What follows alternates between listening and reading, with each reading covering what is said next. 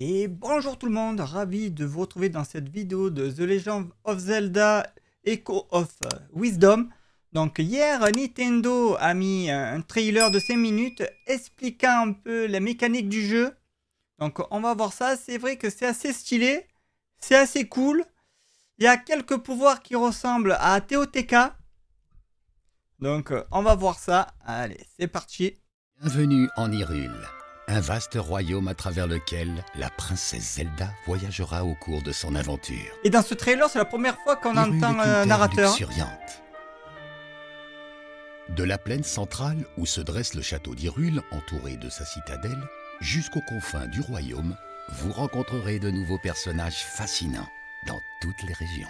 On dirait des mobiles quand même quand on y pense. Ah là, il faudra la bombe. Le désert Gerudo est constitué de dunes brûlantes à perte de vue où se déchaînent régulièrement des tempêtes de sable. Mais rien de tout cela n'inquiète les femmes du peuple Gerudo. On y trouve de nombreuses ruines pleines de mystères et une oasis idéale pour se détendre. Ça c'est stylé ah Elle met le lit et elle dort en plein soleil les cours d'eau les plus spectaculaires d'Hyrule. Vous y rencontrerez aussi les auras des mers. Là, on peut voir donc bon, euh, c'est pas un scoop, mais voilà, Zelda peut nager. Comme Link, Zelda peut nager. Sauf que, on le voit là. En dessous. Là, il y a, on va dire, le temple de l'eau, on va dire. Je sais pas si c'est le temple, mais voilà, là, il y a une grotte aquatique sous-marine. Donc, est-ce que Zelda, pour aller dessous, il va falloir qu'elle baisse le niveau de l'eau Ou avec un pouvoir, elle va pouvoir respirer sous l'eau et euh, pouvoir nager sous l'eau. Après, comme euh, par exemple, est-ce que ici, on va avoir la tenue des auras qui va nous permettre de plonger et de nager sous l'eau et aussi en même temps de respirer sous l'eau? Ou alors avec un monstre qu'on va pouvoir contrôler? Est-ce qu'on va pouvoir aussi respirer sous l'eau? Donc ça encore on ne sait pas. Ça, Nintendo l'a pas montré, mais voilà. Déjà, il y a ça. Les mers. Et les auras des rivières. Et ce que c'est cool, enfin... Vous rencontrerez aussi les auras des mers. Là, vous le remarquez pas, mais... Contrairement à TOTK et à son prédécesseur, là, Zelda, elle a pas la barre d'endurance. Parce que, euh, au bout d'un moment, c'est bien beau, la barre d'endurance. Euh, mais après, ça casse la mécanique parce que il faut se dépêcher à aller euh, à la rive pour pas se noyer, tout ça. Là, au moins, on peut nager à l'infini, ça c'est cool. Ça c'est cool. Parce que les barres d'endurance, après, au bout d'un moment, ras-le-bol en fait. Donc là, pour l'heure, Zelda n'a pas de barre d'endurance et ça c'est cool pour la nage. Ça c'est vraiment cool. Et les auras des rivières qui vivent dans leurs domaines respectifs et qui ne s'entendent pas toujours très bien. Ouais, il y a quelques querelles apparemment. Quels peuvent bien être les sujets de leurs querelles Des falaises abruptes et des torrents de lave composent la région du volcan d'Ordin. Donc là, c'est pour les Gorons. Le village de Cocorico est niché au pied du volcan. Mais il vous faudra gravir un sentier des plus périlleux pour rejoindre le village Goron. Même si ces rochers ont l'air délicieux, ils ne sont malheureusement pas comestibles pour les Iliens. Eh, ça c'est sûr. La tourbière de Firon est un luxuriant dédale végétal. N'empêche, quand on y pense, euh, maintenant, ça reprend un peu la structure de Breath of the Wild et, et TOTK. Si on voit maintenant bien les structures. Donc, bon, il y, avait toujours le désert, mais voilà, le désert à peu près comme il est. Maintenant, les auras, on voit les auras avec un autre peuple. Là, maintenant, la forêt euh, luxuriante de Firon.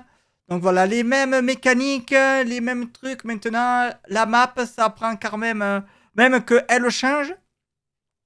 Mais c'est à peu près les mêmes biomes, on va dire. Donc euh, ça, on n'est pas trop dépaysé. Mais voilà, là, je sais pas s'il y a des piafs. Mais euh, pour l'heure, ça ressemble quand même à une map de TOTK. Quoi. Eux, ils n'y étaient pas par contre. Ces étranges créatures ont une passion dévorante pour les sucreries. Au cours de votre voyage, vous rencontrerez probablement des personnes faisant face à des soucis plus ou moins sérieux. Parce que oui, il a dit normalement deux bases. Deux bases, je sais pas si c'est deux bases, mais euh, souvent, Cocorico est au pied du volcan. C'est un village qui est au pied du volcan, comme dans euh, Zelda 64, Ocarina of Time, d'autres. Dans euh, Birth of the Ride et TOTK, c'était pas, pas ça du tout. Le village de Cocorico, euh, c'était un village, il n'était pas euh, au pied du volcan. Là, Cocorico, il est de nouveau au pied du volcan, donc euh, des fois ça change. Donc ça prend les mécaniques comme je vous disais, mais des fois ça se remet dans l'ordre. Des fois Cocorico est au pied du volcan, des fois non, il est bien plus loin. Donc ça, ça change un peu. Donc là, Zelda, je crois que c'est Link, mais c'est pas Link. En parcourant votre journal d'aventure à tout moment. Aider les gens à résoudre leurs problèmes constituera une grande partie de votre aventure.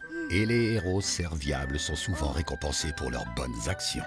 Donc euh, les quêtes secondaires va nous permettre d'avancer dans le jeu. Donc euh, quête principale, quête secondaire, donc ça c'est cool, c'est un peu lié. Ça c'est pas mal. Voilà, là il fallait lui montrer euh, un monstre.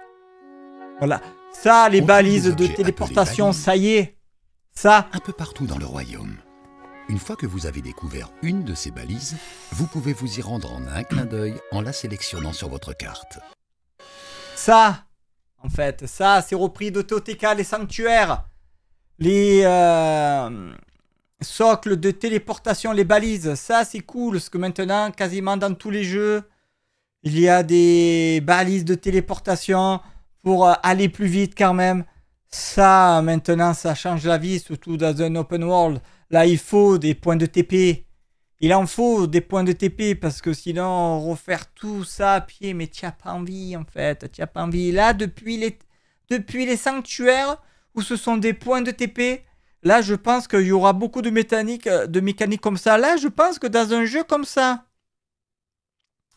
jeu à la vue d'au-dessus, fausse 3D 2D, je crois que c'est la première fois qu'il y a des points de TP. Je sais pas si dans euh, Link's euh, Awakening, je crois, le remake euh, avec ce genre de graphisme, je sais pas si avec la baleine, je sais pas s'il s'appelle comme ça le jeu, je me souviens plus, mais je sais pas s'il y avait des points de TP comme ça. Bon, à l'ancienne, normalement, il n'y a pas de points de TP à l'époque. Comme dans, euh, comment ça s'appelle Ocarina of Time, Wind Waker, Twilight Princess. Oui, Twilight Princess, je crois qu'il y a des points de TP.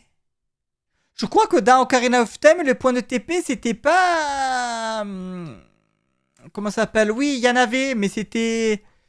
Comment ça s'appelle euh, C'était un peu dans les endroits où il y avait les temples, en fait. On se, téléportait, je crois, dans les temples. Quoi, devant le temple, en fait. Mais après, si on voulait se téléporter, soit, on va dire, euh, à Cocorico, soit dans. On va dire les plaines, tout ça, ça, il fallait se TP en amont et après aller. Il y avait des- certains points de TP. En fait, les points de TP, c'était euh, au donjon, en fait. C'était au point de donjon, mais c'était pas, on va dire, un peu partout dans la map. Là, c'est un peu partout dans la map et ça, c'est cool. Ça, c'est vraiment cool, ça, maintenant.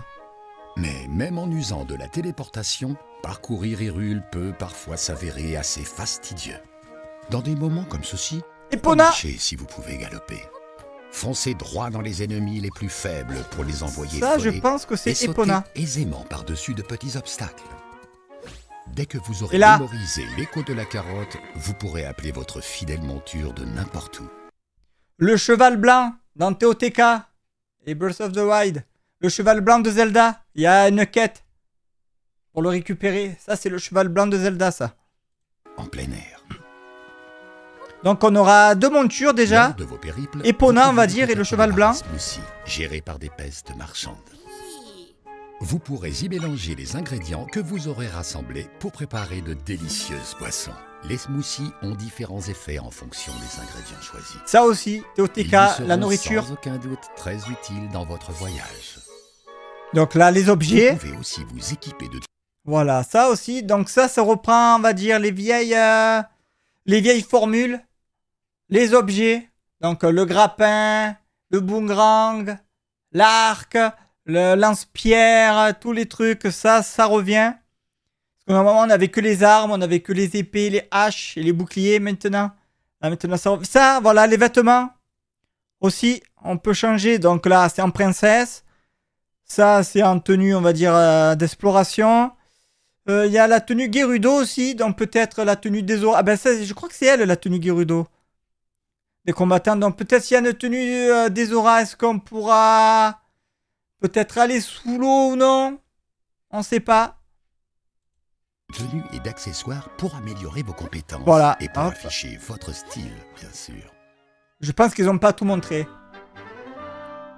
Voilà, la synchronisation. Lorsque vous traversez des plateaux accidentés, des grottes venteuses ou d'autres endroits difficiles d'accès, il vous faut créer des échos pour progresser. Mais parfois, il se peut qu'il ne soit pas suffisant.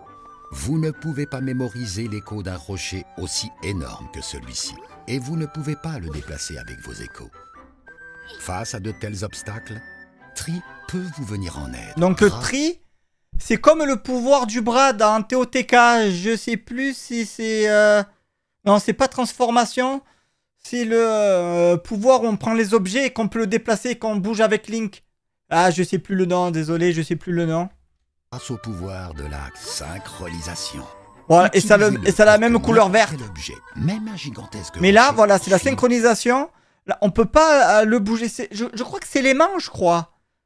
Dans Breath of the Wild, je crois que c'était les mains, les manchis. Et dans le 2, je sais plus. Mais dans le 2, ça, ça me fait penser à ça. Sauf que là, on ne peut pas en fait le déplacer en haut, en bas, tout ça. Ça suit Zelda à la, distance. Quand nous on bouge, quand on est comme ça, euh, l'objet se euh, lévite et il bouge euh, à la même distance. Les mouvements de Zelda. Voilà. La synchronisation peut vous permettre de déterrer des trésors. Ça, ça se voit que c'est dans TOTK. ça se voit trop. C'est des ennemis gênants. Vous pouvez également vous synchroniser à vos échos. Et ça, c'est bien ça. Tentez d'utiliser ce pouvoir de manière créative. Les pics. Vous avez aussi la possibilité d'inverser la synchronisation si vous voulez suivre les Ça, pareil. Il est dans TOTK aussi. Quand on suit les trucs et même dans d'autres Zelda. Hein. la capacité d'une créature à voler ou à se déplacer rapidement. Alterner la synchronisation et la synchronisation inversée. Ça c'est cool pour grimper. façon de trouver des moyens astucieux de progresser. Ça c'est cool pour grimper. recours à votre imagination et vous aurez forcément de bonnes idées. Utilisez la synchronisation combinée. Ça, quand il parle comme ça, ça me fait penser qu'on pouvait euh, combiner euh, les épées, les boucliers, les lances, les troncs d'arbres, tout ce qu'il y avait dans TOTK, on pouvait faire tout ce qu'on voulait. Et là, c'est à peu près pareil. Ils ont, avec la synchronisation, pris, on va dire, le même système que TOTK pour euh, faire euh, des objets, on va dire, insolites et pouvoir euh, se déplacer. Et là, c'est pareil. Là, en fait, c'est pareil. Sauf qu'on peut pas la fusionner, là, d'objet en objet. Enfin, pour l'heure, on sait pas. Peut-être qu'il y est. Mais voilà, ça reprend les mêmes mécaniques que TOTK, ça c'est cool. Et ça c'est par rapport à Tri par contre. Donc au lieu d'avoir le bras de Link, là c'est Tri. À vos échos pour surmonter les obstacles.